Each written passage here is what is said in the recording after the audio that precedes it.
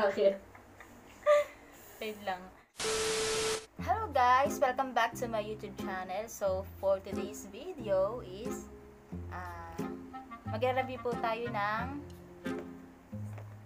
Bio Aqua po. Ibaliktad. Ayan, hindi pala. Ayan, Bio Aqua. So, ito po yung Bio Aqua Cream Air Cushion. So, malalaman po natin mamaya kung ano po yung effect nito sa balat. Stay tuned! Ito na nga po, ito na, ito na, ito na, ito na, iniintay natin. So, ito na.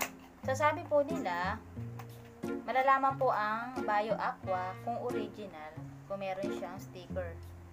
So, kasi po ito ginamit ko na, hindi ko alam po ito yung sinasabi nilang sticker. So, kung ito yung peke man, good luck sa akin, di ba? At saka isa pa, yung nakikita ko nito is yung isahan lang, single. Ito po kasing nabili ko, is ano siya. Ito yung lo- nasa loob niya. Para siyang buy one, take one. Wow, bagay. Ito siya, oh. Ayan. One. And then, two. Pagdating sa two, wala na siyang, kapag parang ito na yung dalagyanan niya. So, i-refill lang natin dito mamaya.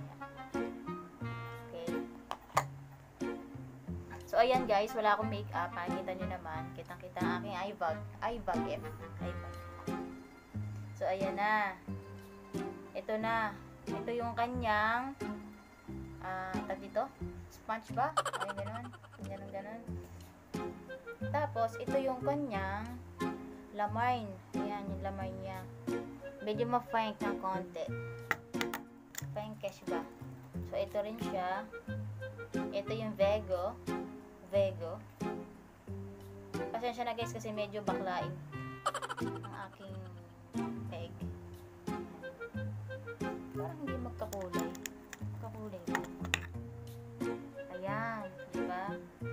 Hindi siya magkakulay. Ito medyo pink, pink. Ito medyo pink, ito naman medyo tanang kaunti. Di ba? Hindi sila magkakulay. So, ito, gamitin ko to. Yan. Pahid lang natin siya sa kabilang face ko. Ito nga pala guys, ah, bibigyan ko kayo ng tips kasi ito is for dry skin.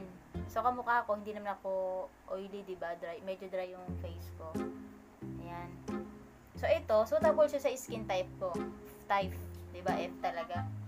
Para naman po sa mga oily, so, hindi po siya pwedeng gamitin kasi sinasabi nga po nila is glass skin to. So, pag sinabi po kasing glass skin, medyo makintab siya sa mukha. So, kapag oily ka, kamusta naman ang balat mo, di ba? Nag-glass skin ka na, oily ka pa. Magprito ka na lang ng isda. So, bawal siya. So, kumbaga parang huhulas yung mukha natin. Ito na, papahid ko na. Walang laman. Na nga lang. Walang laman eh. Nagawa ko, walang laman. Di ba? May mga ano ko sa likod. Ito na guys. Ito na, ito na, papahid ko na. Ito na, ito na. Hmm. Oh. Kasi ko eh. Kaya dito ako lagi nagsisimula.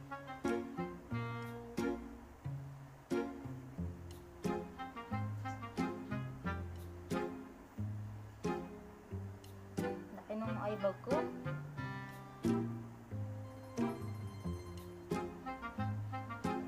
So, ito nga pala. Yan o, diba? Maganda siya sa balat, pero kamukha nga niyan, meron kasi akong wrinkles eh. Yan, kitang-kita siya, oh. At saka konting pahid mo lang, talagang ano siya, medyo maputi. Ang ano niya, ang dating. So, pagpahid po ng makeup guys, is hindi yung ganun. So, dampi-dampi lang tayo.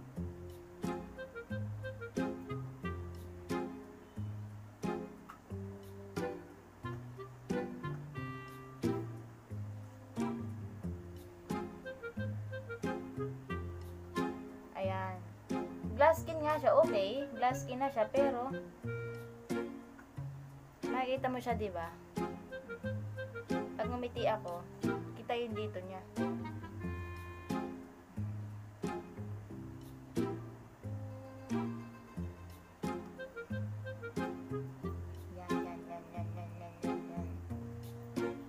O, yan na guys. Tapos na yung isa natin. Mm, Ito yung nilagyan ko ng Bio Aqua. So, ito dito naman tayo, diba? So, ito naman guys, ang aking gagamitin. BB Cream Garnier. So, ito, favorite ko rin to. Ito nga pala guys, pinapapatong ko siya dito. So, pero hindi natin makikita kasi yung result kung pagsasamahin natin. Kailangan, ah, bukod natin, di ba? So, ito naman, BB cream din siya kung nabasa nyo is, ito is BB cream din. Eh, BB cream, di ba? So, ito is BB cream din. Ito. Tapos na tayo dito. Ito naman tayo sa kabila. Ingay eh.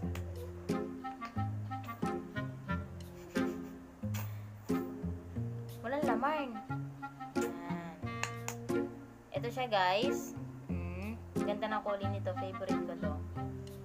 Light kasi siya guys. Light color lang siya. So, kuha lang tayo.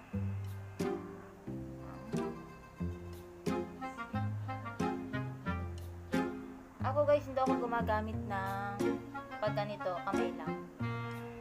Tinakamay ko lang kasi para yung blend niya is ah, fair. Fair. At tawag doon. Hindi siya ano, hindi siya masyadong sumasama dun sa ano sa sponge na ano nilalagay natin.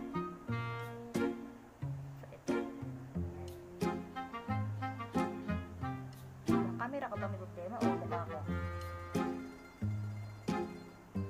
And malalaman natin kung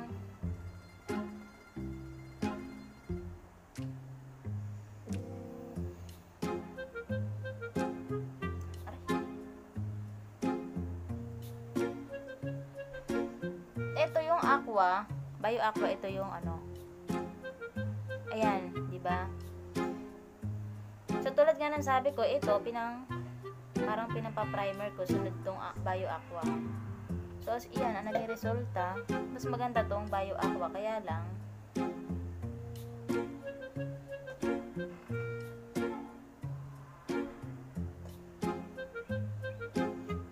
medyo malagkit nga lang siya ng konti. Ito kasi na-absorb BB cream. Bet ko naman siya to. Ngayon, di ba guys, ah, medyo tag-araw ngayon, nainit. Hindi ko siya ginagamit kasi nga humuhulas. So kahit nasabihin mong dry yung balat ko, nagpapawis kasi eh. Kaya mas okay na ako dun sa medyo ano, medyo hindi hindi siya ganun ka kalagkit, di ba?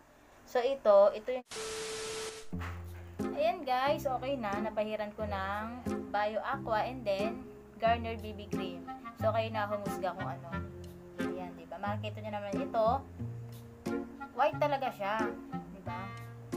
Kaya lang, ang problema dyan, makikita yung pores ninyo kasi nga, medyo, ano siya, medyo, parang, malagkit yung, ano niya, eh, texture niya eh. Ito naman, mm, kasi itong baby cream, di ba, pinapatungan talaga.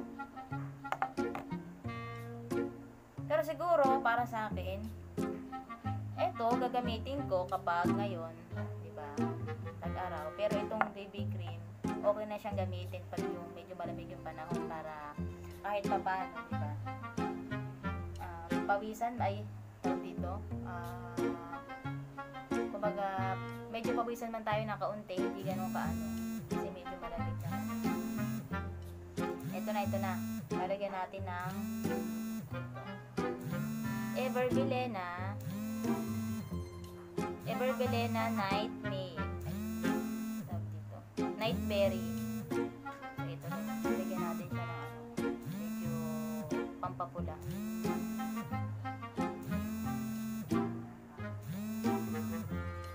Dami. So sabi nila pa naglalagay tayo ng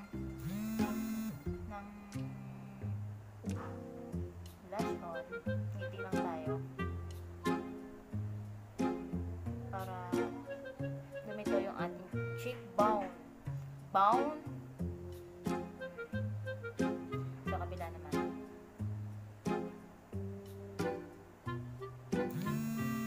Yan guys, kaya ako gumawa ng review about Bayo bioaqua. Mas marami kasing marami ako nakita na hindi nila nagugustuhan. So, syempre,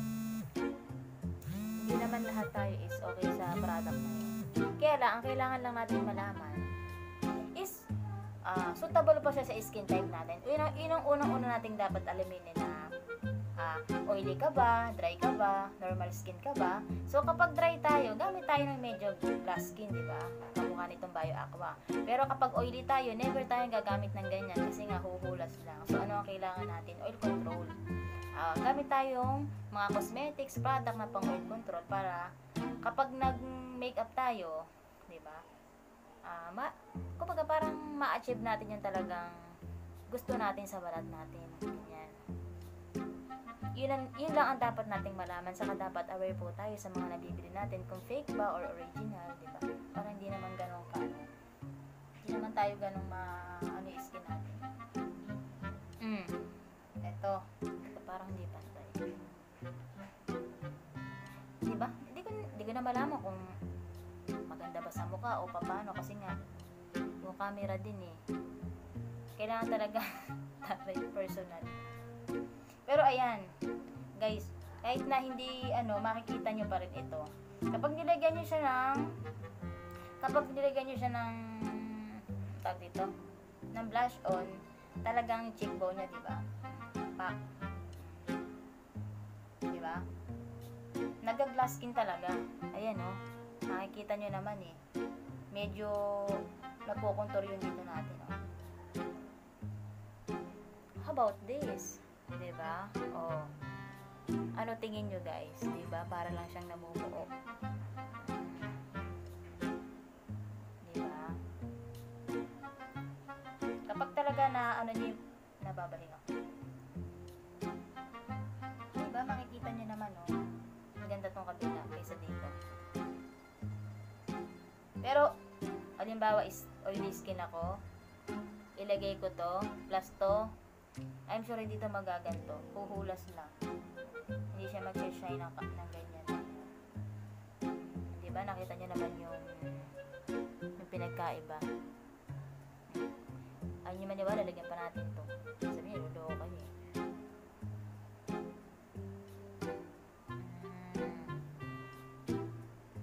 Mm, Wala talaga, di ba? Medyo, alam mo yung batik, parang ganon. Kita yung pores natin. Unlike dito, di ba? Baby, wag ka nang mag-alangan pa. Ayan. Okay na guys, ito na yon This is it. Ah, ikat na natin dito kasi i- ni-review ko lang naman kung ano tong bioacqua na to, di ba? For me, okay siya. Yun nga, kailangan mo lang malaban yung skin mo kung oily ba or dry, di ba? Ganun lang. So, susunod po natin guys, ah, susunod po nating video is, siguro makeup tutorial naman yun gagawin po natin, ah, guys. Sana po is, mm, na-enjoy nyo po yung video ko. Sana po, po panoorin nyo pa po yung iba. Hanggang dito lang guys. Bye-bye. God bless po.